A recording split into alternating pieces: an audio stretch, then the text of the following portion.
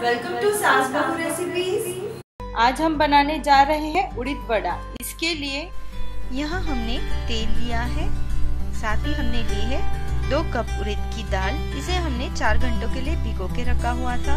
One teaspoon जीरा, one teaspoon काली मिर्च पाउडर, चार हरी मिर्च, कुछ करी लीव्स, नमक स्वाद अनुसार, हाफ़ टी स्पून सोडा लिया है हमने। चलिए शुरू करते हैं। सबसे पहले उड़द वड़े बनाने के लिए हम हमारी उड़द दाल को पीस लेंगे। तो यहाँ मैंने मेरी मिक्सी का बाउल ले लिया है। मैं इसे दो पोर्शंस में पीसूँगी। तो ये मैं सोख की हुई उड़द दाल डाल रही हूँ। अब आगे इसमें हम ऐड करेंगे हरी मिर्च,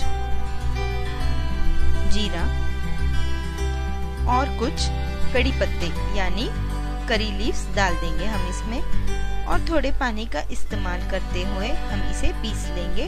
पानी हमें थोड़ा ही इस्तेमाल करना है। अब इसे मैं पीस ये हमने हमारी दाल अच्छे से पीस ली है।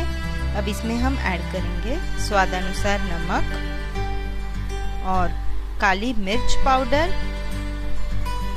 और आगे इसमें जाएगा सोडा। अब इन सभी चीज़ों को हमें अच्छे से मिला लेना है। बैटर को अच्छे से मिक्स करने के बाद हम हमारे वड़े तलेंगे। तो ये मैंने अब मेरा तेल रख दिया है गरम करने के लिए। तेल गरम होने के बाद हम इस तरह छोटे पोर्शंस में हमारे वड़े तल लेंगे। एक गोल्डन शेड आने तक हमें हमारे वड़े फ्राई कर लेने हैं। ये देखिए, इस तरह हमारे वड़े अब अच्छे से फ्राई हो चुके हैं। एक परफेक्ट गोल्डन शेड आ चुका है। तो चलिए अब इसे हम निकालेंगे। ये मेरे गर्मा गर्म क्रिस्पी उड़द वड़े तैयार हैं। मैं इसे सांबार के साथ एंजॉय कर रही हूँ। आप भी ज़रूर ट्राई कीजिएगा ये रेसिपी सांबार की रेसिपी भी आपको हमारे चैनल पर आसानी से मिल जाएगी। आप हमारे चैनल